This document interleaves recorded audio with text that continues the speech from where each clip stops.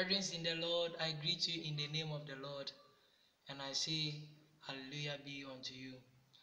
This afternoon, I'm here to give you a word, the undiluted word of God, and that is your food. Today, I am talking about um, the name Jesus. Bible let us understand that the name Jesus is a strong tower. Righteous man runs to it, and he is saved. So, um, first thing we need to see is um we need to know where from the name Jesus, how the name came to be. When you read the book of Isaiah chapter 9 verses, Bible says the prophet give a prophecy concerning about his birth. He will be the governor, the prince of peace, everlasting father, and indeed he is. So when you read the book of Matthew chapter 1 verse 21, Bible said, And a woman conceived and bare a son, and his name shall be called Jesus. That is where we get the name Jesus. And when you read the book of Mark chapter 16 verse 15, downward to the um, 17th verse, Bible let us understand that in the name of Jesus, we cast out demons, we walk on serpents, we drink a deadly poison that we will not be hurt, that we will speak in tongues when we use the name Jesus. Bible also let us understand that the name Jesus is a tool for wealth. When we read the book of First Samuel, chapter 17, verse 45, Goliath was coming with spear, javelin, but David went with the name Jesus and he defeated Goliath. So he make a proclamation that the, the battle is the Lord.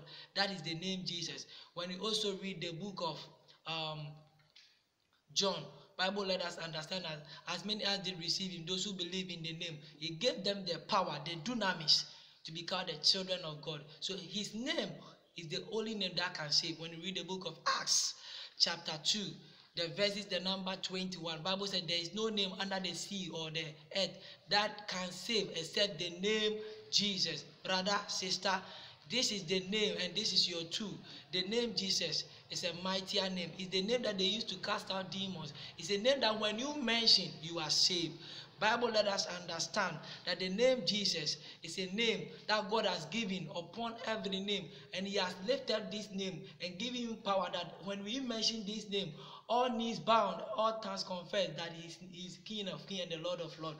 Bible let us understand challenges, situations bow down to this name. And when you mention this name, uh, demons run away.